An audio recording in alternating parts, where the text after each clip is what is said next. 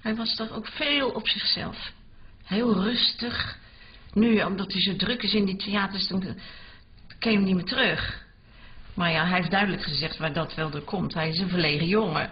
Maar doordat hij wel eens wat uh, gebruikt, is hij, verliest hij natuurlijk die verlegenheid. En komt hij los. Terwijl het tot een nog gevulde ziekenhuis wordt opgeblazen door SS-commando's en uitgaanstenu... die op verzoek van de uit louter katholieke kleurlingen bestaande Ku Klux Klan afdeling met Zeppelins uit Hollywood zijn gekomen... ten einde te adviseren bij de bouw van het nieuwe openbare badhuis aan de Blauwzuurweg... waar inmiddels een hevige uitslaande brand woedt in het hypermoderne bejaardencentrum Kleurendoof... aangestoken door de schijndode broer van de mediamieke tante... van de nymphomane schoonzuster van de hoogmoedswaanzinnige huishoudster van de onbekende stille. Op herhaaldelijk aandringen van de uitgever van de plaatselijke kranten Python Place Paranoia Post... die zich overigens zojuist met zijn chopper op weg naar het Altijd Prijspaleis van de strontiumsteeg de pletterij tegen een boom... die volgens het schrift al drie afleveringen eerder... door drie dozijn ontsnapte psychopaten had moeten worden omgehakt. Waarop hij zijn geest bevelt in handen van de kerstman...